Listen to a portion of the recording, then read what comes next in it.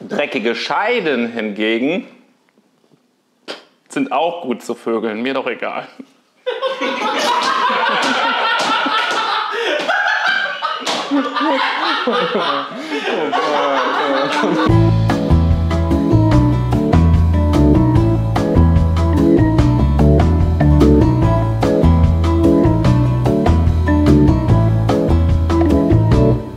So, hey! Paule. Ja. Nennen dich Leute Paule? Ja, aber ich weiß nicht, wie ich mich dazu fühlen soll. Okay, Paule. Vielleicht finden wir das raus in den nächsten 10 Minuten. Ja. Hat deine Mutter dich so genannt? Paul? Äh, weiß ich nicht. Ich glaube, war so eine Konsensentscheidung bei meinen Eltern, ja. Also ich meine Paule. Paule? Nee. Das war Nee. Lachen. Das war ein Lacher von Moritz. Ah, ah stimmt, wir dürfen nicht lachen. Ja, komm. Also, Ja, nee. ähm, wie gefällt dir mein Hemd? Ähm, ziemlich Jungle Wild, würde ich sagen. Hm, das hat mir meine tote Mutter geschenkt. Also bevor sie äh, gestorben ist, hat sie mir das geschenkt. Ja, weil Tote können nicht schenken. Ähm, ich wollte noch kurz Bezug Außer darauf die Erben. So, das könnte auch. Das stimmt, aber ähm, die lebt auch noch. Ähm, Wow, wie wenig kann man zu einem Joke committen? ähm, das ist, äh, hier ist ein Vogel auf dem Hemd, der kann sehr gut rappen. Das ist Tukan Shakur. Oh, das trifft sich gut. Ich Warte, warte, ich habe noch ein paar Anschlusswitze. Ich wollte die ganzen Vogelwitze jetzt abhandeln. Ach so, ja, ich dachte. Weil der, der, der rappt gar nicht, der ist eigentlich ein Ägypter. Das ist. Ich weiß, ich weiß was kommt und äh, du kannst gerne sagen. Das ist. Tukanamun, ja. Ja, genau. Ja. ja. Nee, eigentlich tritt er an für die Präsidentschaftskandidatentour in den USA mit dem Slogan Yes to Can. Das war mein Lieblings äh, Ja? Okay, den hab ich zum- Obwohl es ein nischiges Genre ist. das kann ich selten bringen. Muss ich immer das Hemd so anziehen, ja. Ah, ja. Ah, ja. Ähm, was, ich, hab, ich wollte da jetzt mit einem Rap-Joke auch anschließen. Äh, äh, wa- was machst du, wenn bei deiner Dirty Sprite das Lean ausläuft? Dirty Sprite, das Lean. Das Ah, sind ja, so du- viele Jugendwörter, die mir nicht geläufig sind. Du kannst es einfach ignorieren. Ja. Äh, okay, wa, wa, was machst du, wenn bei deiner Dirty Sprite das Lean ausläuft? Keine Ahnung, Paul. Du bringst es in die Reparatur. Skur, skur. Das war richtig wack. Ja, ich, ich hab, das war eigentlich meine Moritz Wohl-Imitation. Ah, okay. Ja, Weil du gedabbt hast. ja genau. Und, War das ein richtiger und weil ich richtig tief in den, in den, in den Cringe gehe. Ja. Das, das, da fühle ich mich wohl. Der Deutsche Bauernverband äh, hat jetzt neulich jedes Jahr wieder die Lieblingsgemüse der Deutschen veröffentlicht. Platz 3 ist Lauch, Platz 2 die Kartoffel, Platz 1 jetzt zehnte Jahr in Folge Michael Schumacher. Ja. Also, ich, kann, ich, kann den, ich kann den, aber ich trinke für den, weil ich finde es ein, ich find's ein solider Michael Schumacher. Okay. Ähm, wie nennt man das, wenn man darüber rappt, dass man sein ganzes Geld verzockt hat? Risikokapital bra. Geil, das war, mein, Alter. das war mein letzter Rap-Joke. Ja, Ich, ich habe mir So, die anderen Kandidaten, denen ich bei Shirin David und Haftbefehl wäre ich noch dabei, dann ansonsten wird es Ja. schwammig bei mir. Ja, ja, aber du warst auch der Erste von allen, denen ich Rap-Jokes erzählen würde. So stell mal vor, ich erzähle Stefan Rap-Jokes. Kennt er sich nicht auch mit Rap? Ja, ich habe Angst. Mehr mit Raps, ne? Wow. Also, ähm, nach all der Zeit hier ist es Zeit, den Elefanten im Raum anzusprechen. Sinan, Warum machst du das bei mir? ich habe kein Duell mehr mit einem Dicken und okay, aber das, der, der Lacher war für. ich war- hätte, ich hätte auch andere Leute ansprechen können. Okay, ab jetzt kommen solid Jokes, okay?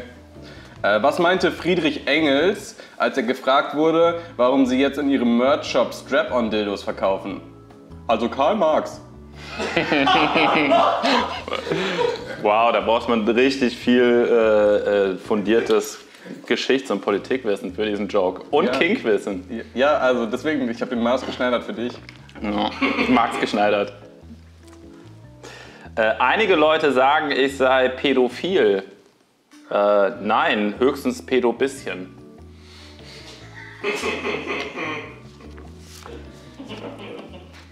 Äh, Chapeau, sag ich mal. Das war, das war knapp. Chapeau, Herr Gesetzeshüter. Wo es denn her?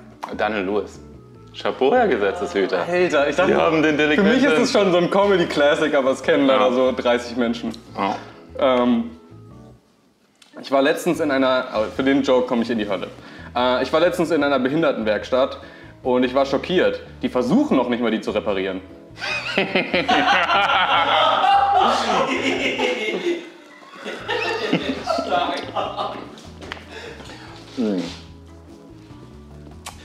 Ähm, im, die alten Ägypter benutzten bereits Pflanzenschutzmittel. Das wissen wir, weil sie das auf Wände geschrieben haben. Man spricht dabei von Hieroglyphosat. Das ist viel Ägyptermaterial. Das, Das war mein letzter Ägypter-Joke. das war schon auch ein bisschen. Ja, ja. Ist, ist ein bisschen scharf geworden, das, ne? Wir leben in militarisierten Zeiten. Ich war gerade im Supermarkt und alle Radieschen, die die hatten, waren im Bund.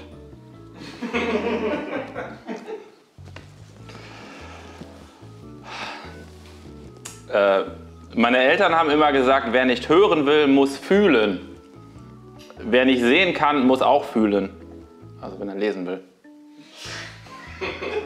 Ah, ich finde, ja, das, das ist ein. Ja, ja okay, gut. Ich finde es ein, ist ein schöner Witz einfach. Aber es, äh, Kannst appreciaten, ja, also, aber nicht lachen. Ja, aber für Hm. den trinke ich keinen Shot. Okay. Tut mir leid. Äh, mein, mein Vater ist Krebsarzt. Ich habe nie so recht den Punkt darin verstanden. Nur, warum ist da der? Äh, Ich glaube, dass sie so. Ich glaube, das ist der Wissenschaft, das ist der wissenschaftliche Begriff. Oh Mann, warte hier. Ja, äh, mein, mein Vater ist Krebsarzt. Ich habe nie so recht den Punkt darin verstanden, nur ein Sternzeichen zu behandeln. Scheiße, das war sogar der Stopp. Ich habe ich hab mich die ganze Zeit gefragt, ob du sicher bist, war es wirklich dein Vater oder war es dein Onkologe? Ja, schade, ja, gut. Nee. Kennst du nicht den Fachbegriff, ne? Doch, mein, Okay. mein Vater ist Onkologe. Ah, Okay. Sorry. Äh, meine letzte Beziehung war eine offene Beziehung. Das hat mir nicht gefallen. Meine nächste wird wieder klassisch konservativ. Monogam und ich betrüge heimlich.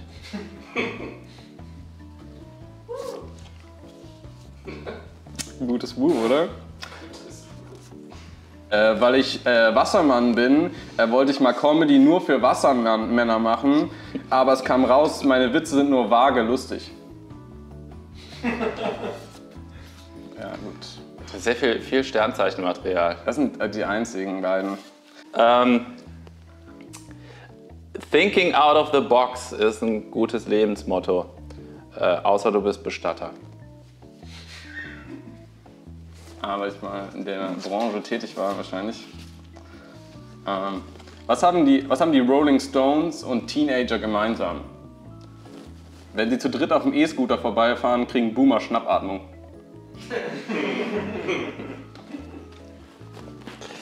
Ähm, dreckige Scheiben. Dreckige was? Scheiben. B. Scheiben. Dreck. Dreckige Scheiben sind gut zu Vögeln. Weil die fliegen ja nicht dagegen. Mm. Dreckige Scheiden hingegen sind auch gut zu Vögeln. Mir doch egal.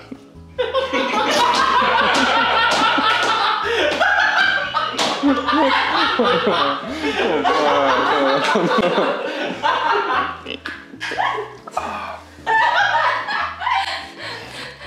gebe mal eine neue Runde hier.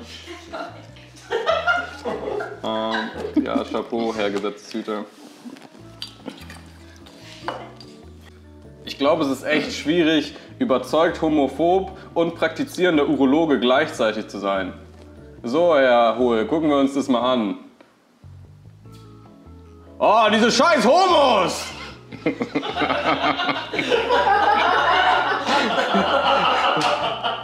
Wa- Was genau war das Act-Out? Was hast du da? Hast du einen, einen Schlauch in den Hals? Das war so.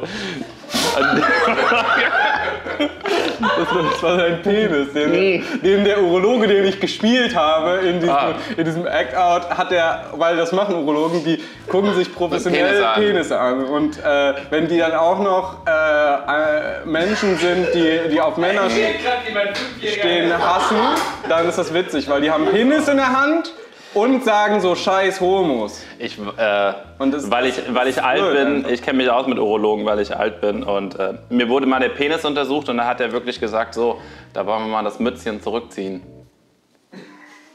Kann man bei äh, Juden auch nicht sagen, weil denen darf man nicht die Kipper klauen. Ja, das ist, äh, das ist wirklich unsensibel. Ähm, Aber In dafür musst du kein Urologe sein, übrigens. um Penisse Dafür zurückzuziehen. musst du Antisemit sein. Okay. Äh, welche, ähm, in welchem Hotel steigen Borderliner ab? Im Ritz. Ganz Anschluss, ich sage das, weil ich weiß, Borderliner haben nichts gegen Witze über sie. Sie finden sie selbst verletzend. Ja, gut. Ich, ich hätte eher Emo erwartet als Borderliner. Ah, nee, kannst du.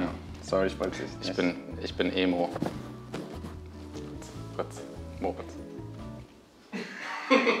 Weil du elektrisch angetrieben bist. ähm. Stell dir vor, du kommst in die Arbeiterklasse und wirst direkt gemobbt. Das, das macht mich traurig. So Busfahren und so. Dann trinke ich lieber einen Shot. Ich habe noch einen. Ja, ich habe noch ein paar, aber, Du hast noch ein paar? ja, aber manche sind richtig schlecht. Ah, okay. Hatten wir nicht schon zwölf oder machen wir Ich weiter? habe ich hab eh. Du hast mehr. Ja, ich, Okay, dann mache ich noch einen schlechten und dann. Ähm, Xavier Naidoo ist bekannt für seine Verschwörungstheorien und sehr wirres Zeug, was er erzählt hat. Was man dabei nicht vergessen darf, seine Musik ist richtig scheiße. Ja. Ähm. Ich habe schon als Jugendlicher immer ordentlich gekokst. Ich hatte einen guten Ziehvater.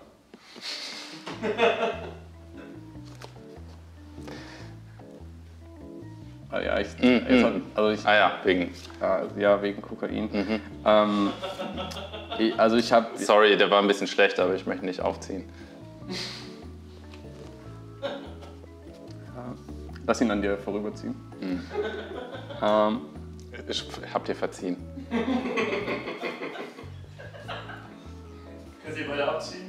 Äh, ich hätte jetzt noch einen, aber den kann ich weglassen. Ich würde mich mit dir kloppen, aber ich glaube, du ziehst den kürzeren. Ciao. Come on.